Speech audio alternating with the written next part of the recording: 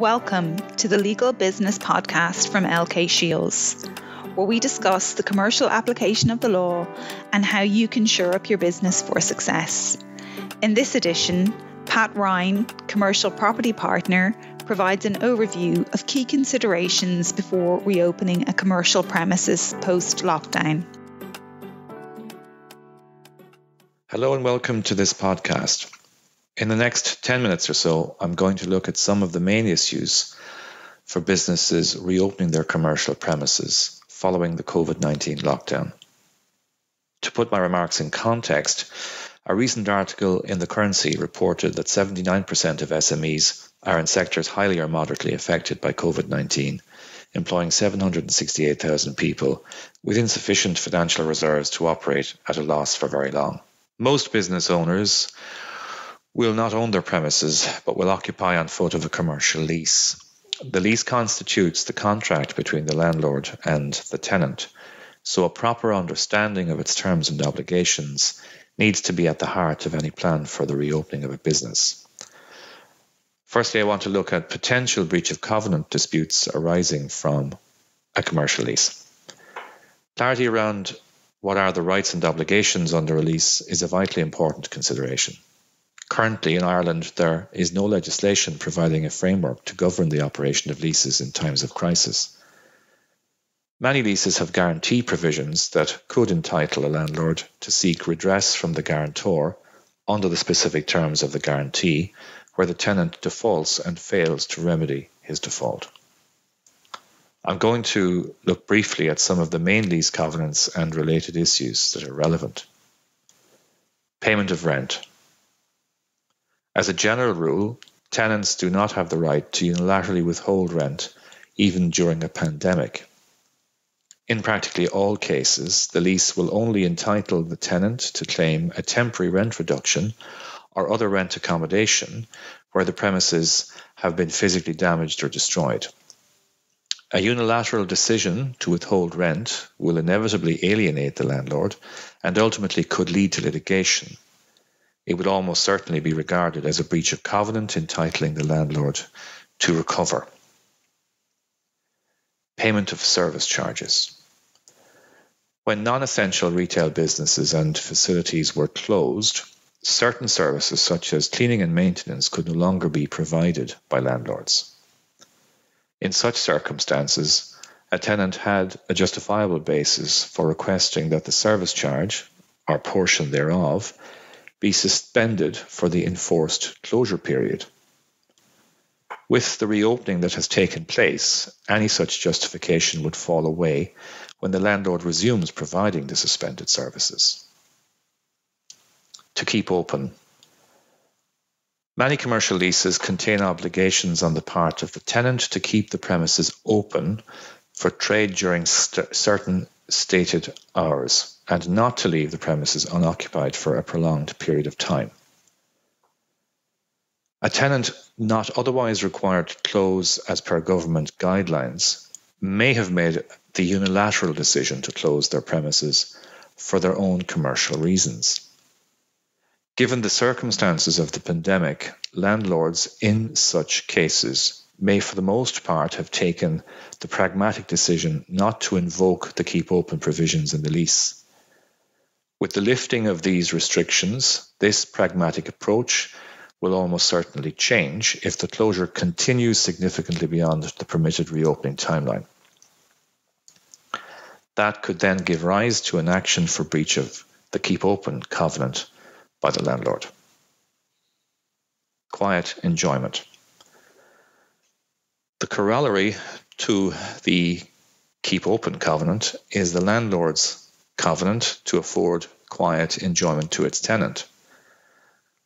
The landlord that closed a multi tenanted premises, thus effectively shutting the tenant down, could be found to have breached the covenant for quiet enjoyment.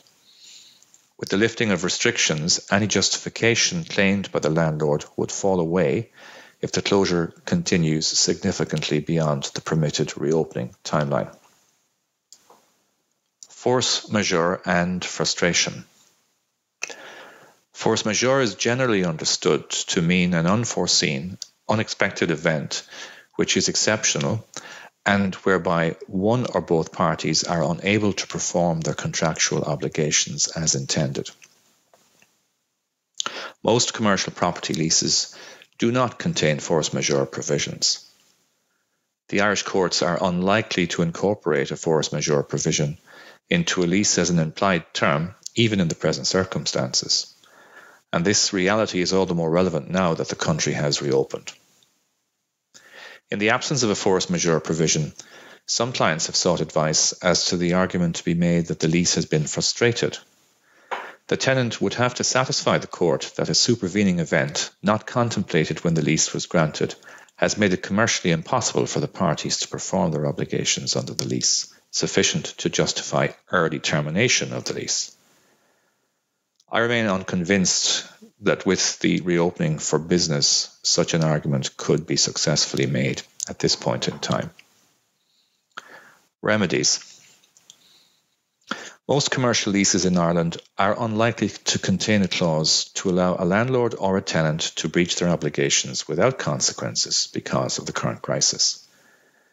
Tenants in breach of covenants, such as the payment of rent, could have a judgment registered against them and in certain circumstances may find that they are forced to vacate on foot of an order for possession. Guarantors could find themselves pursued for redress by the landlord. Communication between the tenant and the landlord is vitally important. In many cases, some level of compromise may be achievable and in most cases is desirable. All sides are going to have additional significant costs into the future and agreed compromise will offer the best outcome in most circumstances. I now want to look at the COVID 19 and health and safety aspects. In preparing for the return to work, landlords and tenants of commercial property need to have regard to existing health and safety laws and the return to work safety protocol. The Safety, Health and Welfare at Work Act 2005, as amended, imposes obligations on both landlords and tenants, which have ongoing cost implications. And the first port of call in seeking to determine cost allocation will be the provisions within the lease. The return to work safely protocol, in many cases, may require works to be carried out to the premises. In situations where physical alteration or reconfiguration of the premises or the existing layout is required, it, be, it may be necessary to obtain the prior agreement of the landlord or the management company in order to carry out those works. Needless to say, strong and constant communication and collaborative approach is most desirable. Cost allocation in most multi-tenanted scenarios, the requirements of meeting the increased frequency and intensity of appropriate cleaning schedules will have significant and long-lasting cost implications. Leases will need to be reviewed to ascertain what are the landlord or management company's obligations to provide additional cleaning or maintenance services. Where there are additional cleaning obligations, the ability of landlords to recover costs from tenants will depend on the wording of the service charge clause in the lease. In many cases, there may not be clarity in this regard, which points again to the need for all parties to look at how the costs and cost recovery measures are to be managed and paid for into the future. I now want to look at some common law obligations. Most commercial leases contain clauses obliging tenants to abide by all statutory law. There is the wider obligation at common law not to intentionally or negligently cause injury or harm to others. Where the risk of such harm or injury is foreseeable, the requirements to meet and discharge the duty of care would be greater. I believe that it is clearly the case that landlords and tenants, as the owners and occupiers of commercial property, owe a duty of care to take all reasonable and necessary steps to prevent the transmission of the COVID 19 virus on their premises. And I want to close with some conclusions. Have the terms of the lease carefully reviewed to see what covenants have particular relevance to the plans for reopening and the, associated costs. Default under the lease may not be cost free, so be mindful of any guarantee obligations. Remember those other legal obligations that arise outside the scope of the lease. Active and coherent communication towards finding common ground between the landlord and the tenant will mitigate against wasteful and costly legal disputes.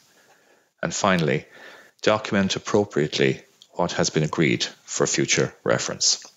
Thank you. I hope that's been of interest. Thank you for listening to the latest edition of the Legal Business Podcast from LK Shields. You can access previous editions from this podcast series on iTunes or Spotify. For more information or to subscribe, visit www.lkshields.ie.